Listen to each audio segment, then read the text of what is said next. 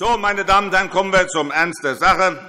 Ich rufe auf den Tagesordnungspunkt 41, Antrag der Fraktionen der CDU, BÜNDNIS 90 die GRÜNEN, Bekämpfung der Internetkriminalität 20630. Das Wort hat der Kollege Müller, Landil, CDU.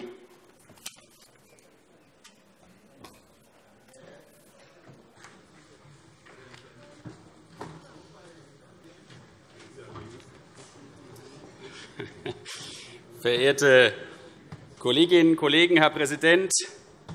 Mit dem Antrag der Regierungsfraktion unter dem Titel Bekämpfung der Internetkriminalität wollen wir auf die ausgesprochen erfolgreiche Arbeit und die hieraus resultierenden Erfolge der hessischen Justiz bei der Bekämpfung der Cyberkriminalität verweisen und die erfolgreiche Bekämpfung dieser Kriminalität eben weiter verbessern. Die Welt, verehrte Kolleginnen und Kollegen, hat sich in den letzten Jahrzehnten unfassbar verändert. Möglichkeiten der Kommunikation, der wirtschaftlichen Betätigung, eben das Netz. Entwicklungen, die eigentlich ebenso unvorstellbar waren wie eine Koalition der so grundsatzfesten Parteien CDU und GRÜNE. Aber unvorstellbar war es, es ist eben jetzt anders. Wer hätte vor wenigen Jahren an die neuen Möglichkeiten der veränderten Erscheinung von Kriminalität, der weltweiten Tatbegehungsmöglichkeiten, der beliebigen Verlagerung von Begehungsorten und der vielfältigen Möglichkeiten, Tatergebnisse Dritten zugänglich zu machen und vor allem nutzbar zu machen, gedacht. Ebenso unvorstellbar, aber ebenso real. Das Netz bestimmt zwischenzeitlich in unfassbar umfänglicher, umfänglicher Weise unser Leben und unser Zusammenleben. Das Netz bietet eine neue Freiheit, neue Möglichkeiten, neues Wissen. Freiheit, die genutzt, die aber auch missbraucht werden kann. Wir bemühen uns hier in unserem schönen und so vielfältigen Hessen, Freiheit zu bewahren. Wir wollen aber auch schützen vor denjenigen, die diese Freiheit missbrauchen. Die Möglichkeiten der Cyberkriminalität erscheinen nahezu grenzenlos. Angriffe durch Cyberkriminelle bedrohen Staat, Wirtschaft und die Gesellschaft. Den sich ständig ändernden neuen digitalen Gegebenheiten stellen wir uns erfolgreich entgegen. Für uns ist sehr deutlich, dass Kriminalität im Netz ihre Verfolgung mehr als üblich auch in die Freiheit der Nutzer eingreifen kann. Ja, sie beschränkt und infolgedessen unsere Gesellschaft und ihre Funktionsweise besonders intensiv beeinflussen kann und eben auch beeinflusst. Gerade deshalb war und ist es richtig gewesen, eine digitale Strategie für die hessische Justiz zu entwickeln und bei der Bekämpfung der Cyberkriminalität auf fachliche Konzentration zu setzen. Recht hat, und ich denke, das müssen wir uns immer vor Augen halten, zu schützen, Freiheit zu garantieren, aber eben auch Missbrauch abzuwehren oder, um mit Tucholsky zu sprechen, Recht kann man nur in bedrohten Lagen erkennen. Wenn es da nicht gilt, taugt es nichts. Im Alltag, wo es um nichts geht, kann jeder Rechtsbewahrer sein.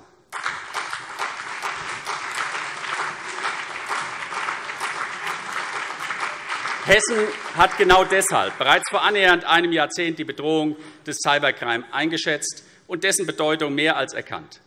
Folge war die Einrichtung der Zentralstelle zur Bekämpfung der Internetkriminalität ZIT. Unter Leitung der Generalstaatsanwaltschaft werden in Gießen in dieser besonderen staatsanwaltschaftlichen Ermittlungsunit die Verfahren aus dem Bereich des Cybercrime konzentriert bearbeitet. Die Deliktsarten sind dabei so unterschiedlich wie die im Netz entwickelten unterschiedlichen Straftaten und deren Begehungsarten. Klassisch sind die Schädigungen der Netzvorgänge selbst, Eindringen in Netzwerke, Schadsoftware, Spionage. Hinzu kommt die kriminelle Schattenwirtschaft, vor allem mit dem Handel von illegalen Gütern aller Art, Drogen, Waffen, Falschgeld, Daten. Die ekelerregendste und traurigerweise mengengenutzte Form der Kriminalität, der Kindesmissbrauch, in geradezu industrialisierter Form. Dies zwang und zwingt zur Anpassung auch der Ermittlungsbehörden an Begehungsformen und Arten, um erfolgreich nicht nur zu ermitteln, sondern vor allem auch zu sanktionieren. ZIT ist dabei von dem ausgesprochen hohen Engagement der Mitarbeiterinnen und Mitarbeiter geprägt. Mitarbeiter, die sich dabei der durchaus fordernden Unterstützung des Justizministeriums sicher sein dürfen. Neben dem Engagement ist jedoch der wesentliche Erfolgsfaktor die ausgesprochen umfangreiche und erfolgreiche Zusammenarbeit von ZIT mit BKA, Landeskriminalämtern, Landeskriminalamt in Hessen, Zollkriminalamt und vor allem internationalen Behörden und Ermittlungseinrichtungen, Europol, Eurojust und dem FBI. Dabei sind die dort gewonnenen Erfahrungen in der Zusammenarbeit in der Ermittlung und Verfolgung von Straftaten nutzbringend und führen zu ausgesprochen wichtigen Ermittlungserfolgen im Bereich der Cyberkriminalität. Nur ein paar Beispiele. Die weltweit zweitgrößte kriminelle Handelsplattform Wall Street Market, auf der Drogen, ausgespähte Daten, gefälschte Dokumente und Schadsoftware im Darknet gehandelt wurden, konnte ausermittelt, Handelnde verhaftet, die Plattform vom Netz genommen werden. Dies mit Hilfe US-amerikanischer und niederländischer Ermittler ein toller Erfolg, der zur Stilllegung dieser Handelsplattform und zahlreichen Verhaftungen und zwischenzeitlich auch Verurteilungen geführt hat.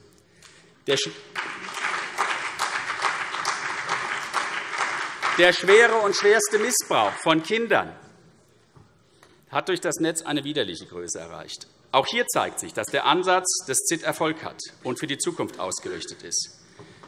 Das kinderpornografische Netzwerk Elysium wurde aufgespürt, die Handeln ermittelt, die Plattform abgeschaltet.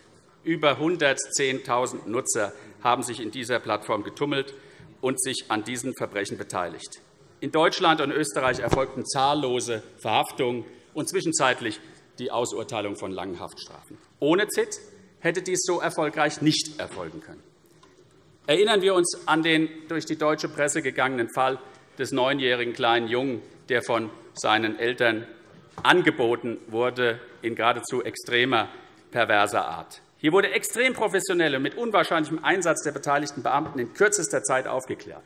Es lagen nur Tage zwischen Angebot und Ermittlungserfolg. Langjährige Haftstrafen erfolgten inzwischen, und das Wichtigste, das Martyrium des Kindes wurde beendet.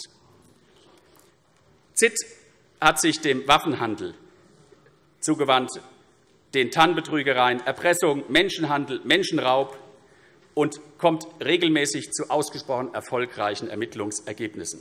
Das sind einige Beispiele, die jedoch überdeutlich machen, dass der Weg dieser Ermittlungen genau der richtige ist. Konsequente Ermittlungsarbeit steht jedoch das Bedürfnis unserer hessischen Bürgerinnen und Bürger nach Beachtung ihrer Freiheitsrechte gegenüber. Kein Ermittlungsübermaß, aber das Bewusstsein, dass konsequente Ermittlungsarbeit eben auch die Freiheit schützt und sichert, ist erforderlich. Ich denke, dies hat der große jüdische Vordenker Viktor Frankl so treffend ausgeführt. Freiheit droht in Willkür auszuarten, sofern sie nicht in Verantwortlichkeit gelebt wird. Deshalb wird die Regierungskoalition werden wir handeln, dem Täter nicht wirklich frei in seinem Netz handeln zu lassen. Wir schützen die Freiheit der Hessinnen und Hessen und beachten eben genau ihre Freiheit. Wir wollen kein System permanenter Überwachung und Beschränkung. Diejenigen, die auf Recht und Gesetz eben auf die Wahrung der Freiheit vertrauen, müssen eben auf das vertrauen dürfen. Wir wollen aber auch, dass derjenige, der Netz und neue Medien zur Begehung von Straftaten missbraucht, weiß, das ihn die hessische Justiz ermittelt, verfolgt und einem rechtsstaatlichen Strafverfahren überantwortet.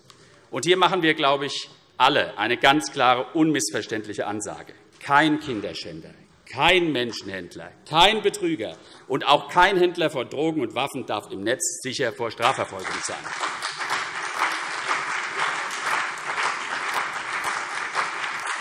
Und das, verehrte Kolleginnen und Kollegen, gilt mit Z in Hessen ganz besonders. Wir haben mit ZIT ein erfolgreiches Mittel, diesen Straftätern auf die Schliche zu kommen und sie einer gerechten Strafe zuzuführen. Wir wissen, wir brauchen dazu in Zukunft mehr als das, was wir haben, an Personal und auch an Sachmitteln. Es ist prima, so finde ich jedenfalls, dass ZIT einer dauerhaften personellen Verstärkung unterliegt. Das muss und wird auch so weitergehen. Wir finden es gut und betonen es ausdrücklich, dass die Landesregierung die neuen Formen der Kriminalitätsausübung nicht nur beobachtet, sondern mit aktiven Veränderungen und Vorschlägen zur Anpassung von Strafvorschriften reagiert. Wir finden es gut und begrüßen es ausdrücklich, dass die hessische Justizministerin insbesondere Strafbarkeitslücken im Bereich des Internets, des digitalen Raumes analysiert, bewertet und Initiativen ergreift. Digitaler Hausfriedensbruch und Cybergrooming müssen deshalb auch strafbar sein, damit der Einzelne im Netz Freiheit und Unabhängigkeit genießen kann. Dies zeigt überdeutlich, die Landesregierung lebt das Motto ihrer Zusammenarbeit. Aufbruch im Wandel durch Haltung, Orientierung und eben Zusammenhalt. Für den Geschäftsbereich des Staatsministers der Justiz gilt dies in besonderer Weise. Vielen Dank.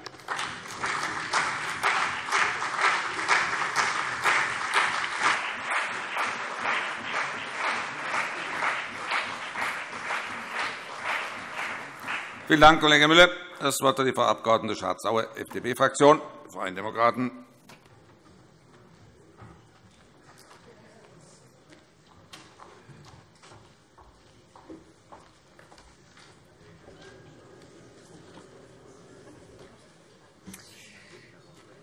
Sehr geehrter Herr Präsident, werte Kollegen!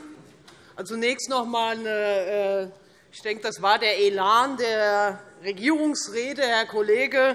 Noch haben wir ja eine Staatsministerin im Bereich der Justiz, äh, also Frau Kühne-Hörmann, und keinen Staatsminister in dem Bereich. Aber ich gehe davon aus, war die Lobenergie, die aus Ihnen herauskam, bei dem Thema Bekämpfung der Internetkriminalität. Damit setzt sich Ihr Antrag ja auseinander. Wir Freie Demokraten setzen uns ebenfalls vehement gegen Kriminalität jeglicher Art, auch der im Internet ein, und unterstützen natürlich die Bekämpfung derselben. Bei diesem Antrag aber, werte Kollegen, handelt es sich erneut um einen solchen ohne Substanz, der lediglich dafür gedacht ist, sich mal wieder selber zu loben. Auch wir Freie Demokraten, um an diesen Kanon heute Morgen einzufallen, begrüßen die Arbeit der Hessischen Zentralstelle zur Bekämpfung der Internetkriminalität, der ZIT.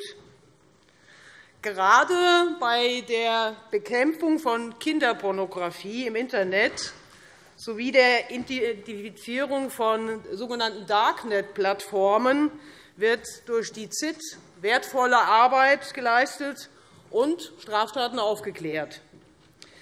Sie leistet damit einen immens wichtigen Beitrag zum Schutz unserer Bevölkerung. Und, werte Kollegen, wir freuen uns ganz ausgesprochen über das Lob der schwarz-grünen Landesregierung. Das permanente Lob ist ein kluger Aspekt dieses Antrags. Das Lob gilt einem wichtigen Fundament bei der Bekämpfung der Internetkriminalität, der ZIT. Doch, werte Kollegen, so viel Zeit muss sein bei so viel Redezeit. Wer hat das Fundament gelegt? Ja, nicht nur zeigen, sagen. Die ZIT wurde im Jahre 2010 durch den hessischen Justizminister Dr. Jörg-Uwe Hahn von der FDP eingeführt. Das gehört zur Vollständigkeit.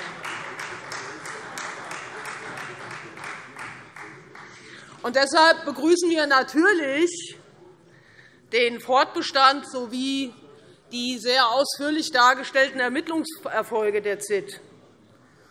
Und ebenso, werte Kollegen, begrüßen wir die personelle Verstärkung für die Bekämpfung der Internetkriminalität.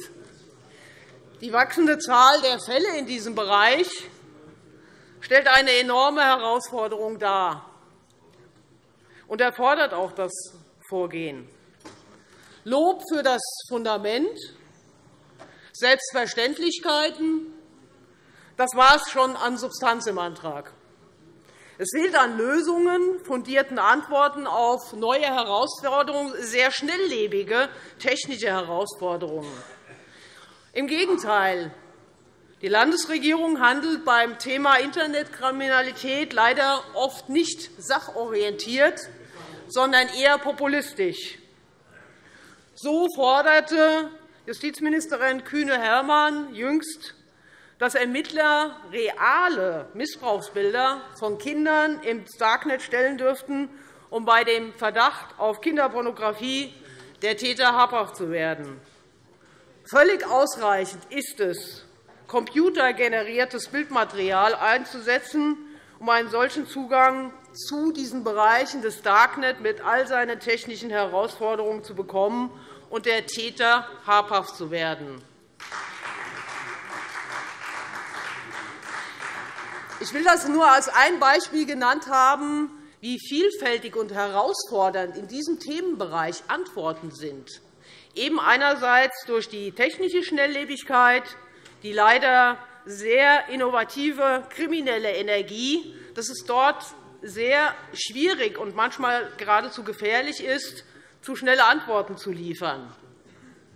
Lassen Sie mich noch auf eine große Herausforderung, das Thema Hasskriminalität im Internet, eingehen. Rassismus, Fremdenfeindlichkeit, Antisemitismus, Sexismus, Homo, Transphobie, Behindertenfeindlichkeit, vielfältigste Diskriminierung erfahren Internetnutzer wieder und wieder und zunehmend strafrechtliche Handlungen in Form von Hate Speech, wie der Ausdruck lautet, im Internet sind in Hessen leider wie überall ein alltägliches Problem und bedrohen, und da wird es halt sehr schwierig, die Meinungsfreiheit im Internet, die Meinungsfreiheit von uns allen. Aufgabe Aufgabe der Politik ist es, eben diese Meinungsfreiheit in sozialen Medien und im Internet allgemein sicherzustellen. Darüber hinaus muss für Betroffene von strafrechtlich nicht relevanten Handeln ein Ansprechpartner vorhanden sein. Es muss mehr gegen Hasskriminalität außer Ankündigungen kommen. Ein Drittel der Hessen gibt laut einer Studie der NGO-Organisation Compact an, schon einmal im Internet beleidigt oder bedroht worden zu sein. Umgekehrt gab es aber in den letzten Jahren durchschnittlich gerade einmal 200 Anzeigen im Jahr, von denen auch nur wiederum ein Bruchteil in einer Verurteilung endete. Das zeigt, da stimmt etwas nicht. Die Landesregierung muss das Thema Hassreden im Internet zu einer Priorität machen. Es muss konsequent es muss konsequenter dagegen vorgegangen werden und strafrechtlich relevante Handlungen wie Bedrohung oder Beleidigung konsequent geahndet werden. Konfrontation im Internet, wir kennen es doch auch im Bereich des politischen Diskurses, wenn wir es so formulieren, führt oft dazu, dass Menschen sich dann eben nicht mehr an Diskussionen in sozialen Netzwerken beteiligen. Und dadurch wird die Meinungsfreiheit des Einzelnen ein Kernelement unserer Demokratie, unseres Grundgesetzes, dessen Geburtstag wir heute Abend sozusagen einläuten. Die Meinungsvielfalt selbst in diesem Lande wird bedroht. Die Landesregierung muss hier klar Flagge zeigen, und es ist höchste Zeit, einzuschreiten. Denn in einem Rechtsstreit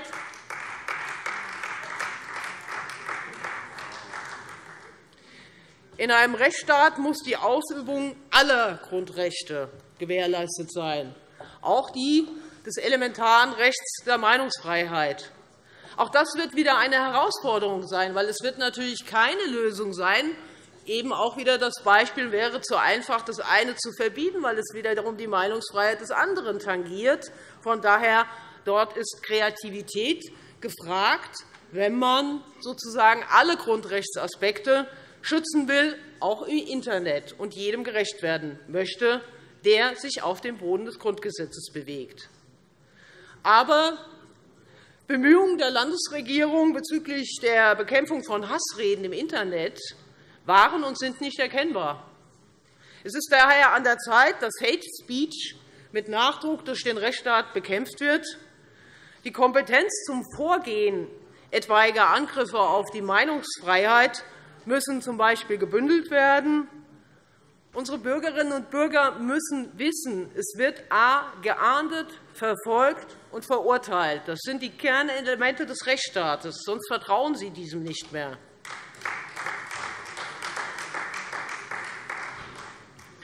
Was Bürgerinnen und Bürger also erwarten, sind wirkliche Antworten. Lobhudelei, wie in diesen Anträgen.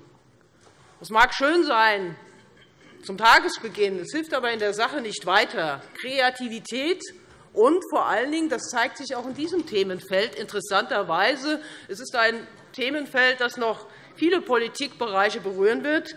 Da gehört auch ein Stück weit digitale Kompetenz dazu, wer diese Mechanismen verstehen will.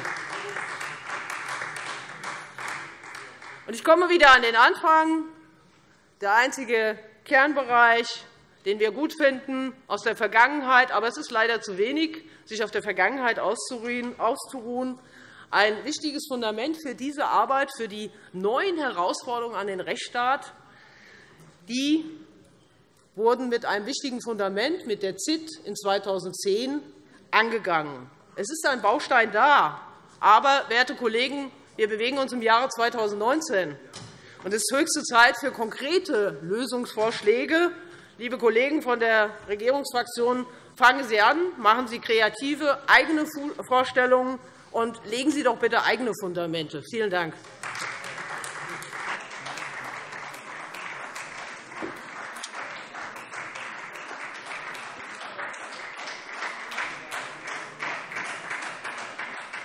Vielen Dank, Frau Kollegin. Das Wort hat die Frau Abg. Verseltmann, BÜNDNIS 90 die GRÜNEN.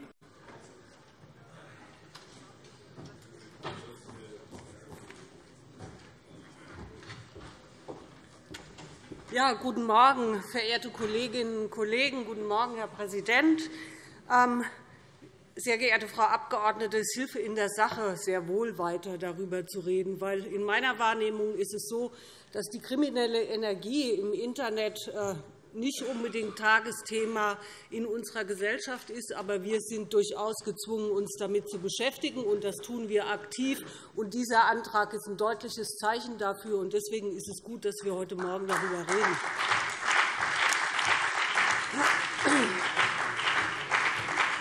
Ja, und Frau Abgeordnete, ich hätte dann auch noch die Bitte, dass Sie Social Media und äh, die Dinge, die wir im Darknet äh, und im Internet beobachten können, schon etwas differenzieren. Sie können, wenn Sie unseren Koalitionsvertrag äh, lesen, erstens einmal zu Personal in Justiz und in der Strafverfolgung etwas lesen, und Sie können ganz speziell zu Hate Speech auch in diesem Koalitionsvertrag etwas lesen. Das würde ähm, möglicherweise Ihre Rede etwas beeinflussen.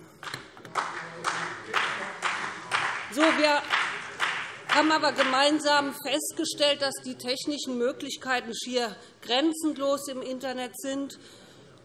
Und dem haben wir uns zu stellen. Und besonders die Anonymität, ähm, die von Kriminellen missbraucht werden, stellen uns vor besondere Herausforderungen. Dabei muss man natürlich auch feststellen, dass das Darknet nicht reines Teufelswerk ist, sondern auch Schutzgebiet von verfolgten Journalisten, verfolgten Politikern ist. Das gehört auch zu dieser Wahrheit. Und deswegen deswegen müssen wir natürlich die Handelsplattformen in besonderem Auge behalten, die für Betäubungsmittel, Waffen, Kinderpornografie und sonstige illegale Waren und Dienstleistungen zur Verfügung stehen, dass wir das genau beobachten und dass wir solche Straftaten konsequent bekämpfen. Das gilt im Übrigen nicht nur digital, das gilt auch analog.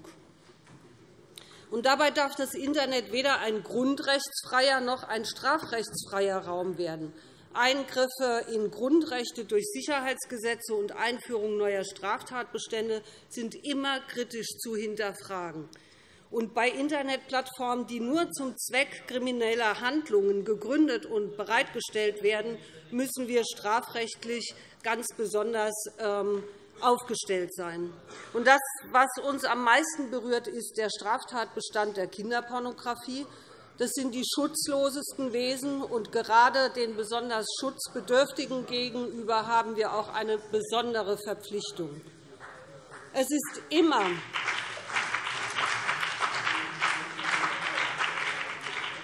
Es ist immer eine besondere Gratwanderung, einerseits der Strafverfolgung nachzukommen und andererseits die Freiheit im Internet zu gewährleisten. Und daher brauchen wir bereichsspezifische und präzise Regelungen, um in dieser ständigen Abwägung zwischen Freiheit und Sicherheit bestehen zu können. Und wir haben Erfolge. Sie sind bereits benannt worden. Wall Street Marke diese Darknet-Plattform, die Kinderpornografie Elysium, die Identifizierung äh, von einem Waffenhändler. Und äh, diese kriminelle Entwicklung im Internet muss uns Sorge bereiten, und daraus entsteht dieser Handlungsbedarf. Und mit dem ZIT, mit dem ZIT haben wir eine Einheit, die genau daran arbeitet und große Beachtung bundesweit erfahren hat. Aber damit allein ist es nicht getan. Die Bundesratsinitiative zum § 126a zeigt, dass sich die Länder über die Aufgabenstellung einig sind. mit der Schaffung eines neuen Straftatbestandes wird Waffenhandel, Drogenhandel, Pornografie und vieles andere eben benannt. Die Spezialisten im ZIT haben eine schwere Arbeit. Das sollte hier auch noch einmal erwähnt werden sich das alles ansehen zu müssen, das muss auch gesagt werden. Und gerade beim Cybergrooming, also bei der illegalen Kontaktaufnahme und deren Beobachtung bzw. Eingreifen, sollten wir höchste Anerkennung aussprechen an die Personen, die sich das Elend Tag für Tag ansehen müssen und äh, dass der Arbeitsmittelpunkt ähm, ihres Tagesgeschäfts ist.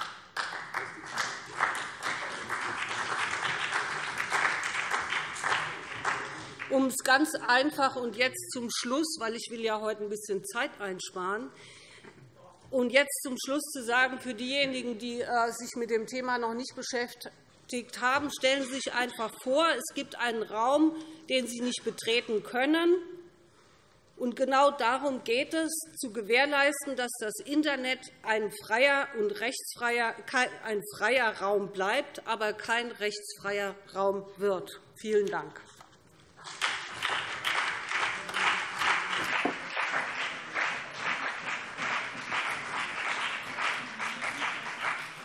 Herzlichen Dank, Frau Kollegin Förster-Heldmann. Jetzt hat das Wort der Kollege Gerald Kumme, SPD-Fraktion. Gerald, bitte.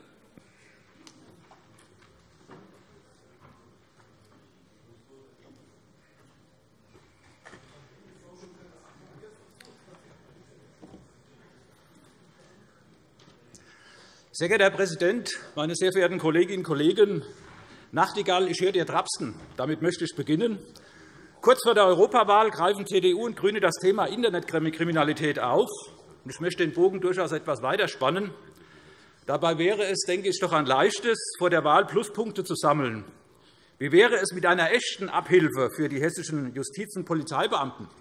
Wie wäre es, wenn man die Personalausstattung der Hessischen Zentralstelle zur Bekämpfung der Internetkriminalität, also kurz ZIT, als Vorbild für alle sonstigen Justizbereiche heranziehen würde und überall für gleichwertige, gut ausgestattete Bedingungen sorgen würde. Stattdessen Stattdessen hat Schwarz-Grün wie so oft nicht Verbesserungen, sondern immer wieder das Eigenlob im Blick. Oder wie der Schriftsteller und Journalist Manfred Hinrich einmal gesagt hat, frisch ans Blendwerk, Röhre frei für die Werbung. Ich weiß, Jetzt kommt gleich wieder der Hinweis auf das angebliche Justizaufbauprogramm und, das angeblichen, und den angeblichen Personalaufwuchs. Dazu möchte ich heute Morgen gern drei Dinge sagen. Erstens.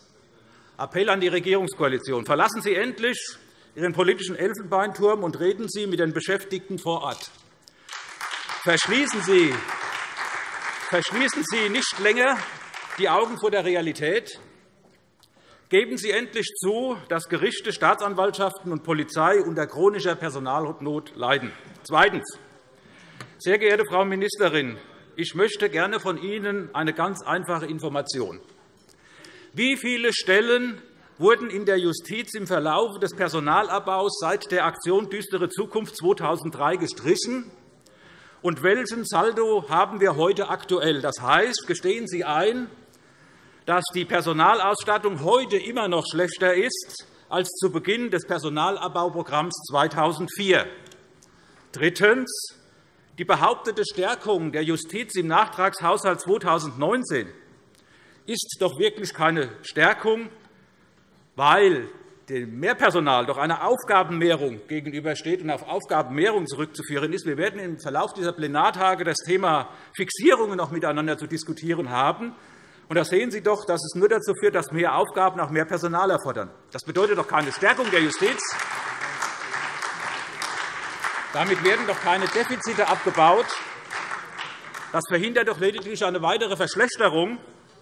Auf keinen Fall ist es aber eine Verbesserung des bisherigen, wie ich sagen will, miserablen Zustands. Kolleginnen und Kollegen, ohne Frage, ohne Frage, wir teilen die Anerkennung für die Ermittlungserfolge der Hessischen Zentralstelle zur Bekämpfung der Internetkriminalität. Wir teilen die. Ja, wir erkennen das auch an. Hier zeigt sich nämlich eindeutig, dass eine personell und technisch gut ausgestattete und damit auch schlagkräftige Justiz, in diesem Fall eben die Generalstaatsanwaltschaft Frankfurt am Main, Erfolge vorweisen kann. Für sich betrachtet ergibt der Abs. 3 Ihres Antrags also durchaus einen Sinn. Bettet man die vermeintlichen Erfolgsmeldungen in den Kontext allerdings der desolaten Personalausstattung aller anderen Bereiche der Polizei und Justiz ein, so lesen sich Ihre Worte, wie ich meine, wie Hohn für all diejenigen, die eben nicht Teil Ihres ZITs sind. Wie müssen sich denn die Mitarbeitenden der Polizei und der Justiz fühlen, die fast drei Millionen Überstunden vor sich herschieben oder mit der Arbeit nicht hinterherkommen und nun diesen und nun diesen Beweihräucherungsantrag, die Kollegin hat es eben auch schon gesagt, von der FDP ertragen müssen. meine Damen und Herren, an die Regierungskoalition. Ich finde, Sie entlarven damit Ihre eigene verfehlte Personalentwicklung. Sie tun das nicht erst seit der Regierungsübernahme, sondern Sie tun das auch aktuell jetzt wieder. Ich möchte gerne ein Beispiel aufzeigen. Da, gibt es ein Ermittlungs oder da gab es ein Ermittlungsverfahren gegen einen Verfasser von Hassmails, nämlich an den Vorsitzenden des Ausländerbeirats der Stadt Fulda.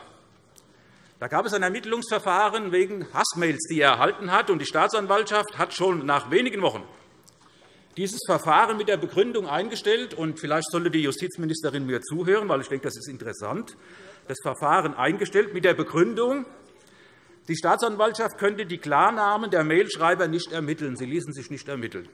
Allerdings, Kolleginnen und Kollegen, der Hessische Rundfunk hat recherchiert, nicht die Staatsanwaltschaft. Und siehe da, der HR-Journalist identifizierte den Verfasser der Hassmails ohne größeren Aufwand, kontaktierte ihn sogar und er fragte seinen Wohnort.